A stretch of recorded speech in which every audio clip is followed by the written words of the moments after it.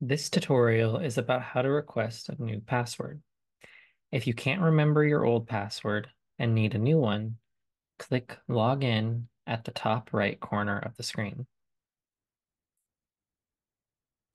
Then click on the Forgot Password button. It'll take you to this page. Enter your email.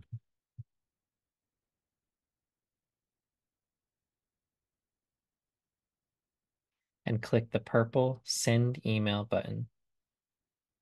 Afterwards, you'll receive an email with instructions on how to reset your password.